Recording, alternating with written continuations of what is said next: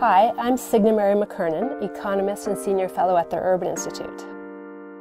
If I asked you, would you rather have over a million dollars or 160,000 in 30 years, what would you choose? Now consider this. What if for every dollar you earned, someone else earned too? How about if for every dollar of wealth you gained, someone else gained six? In 1983, whites in their 30s had an average net worth of $184,000. Today, these whites, who are in their early 60s, have accumulated $1.1 million in wealth. In contrast, blacks have seen their wealth go from $54,000 to 161,000, and Hispanics from $46,000 to 226,000. The racial wealth gap grows sharply with age.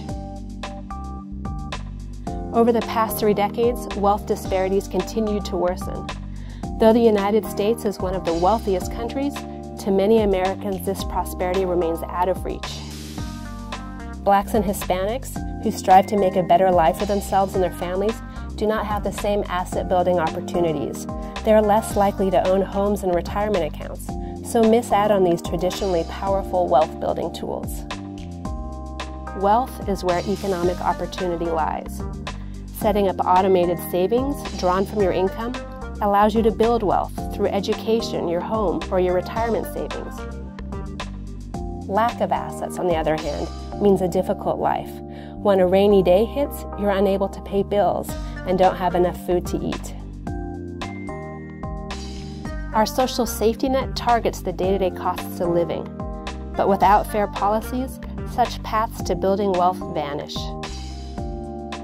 Today, these avenues are harder to access because it's tougher to qualify for home loans.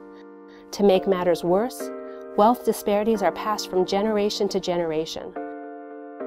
Black and Hispanic families are five times less likely than white families to inherit money that can help with down payments on a home.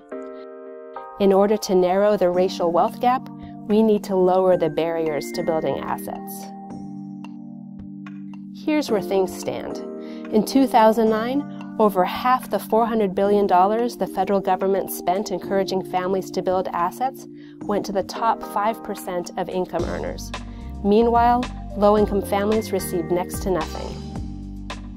Now imagine you have the same opportunity to earn income and gain financial security as anyone else. If that's the course we want to set, wealth is where the economic opportunity lies.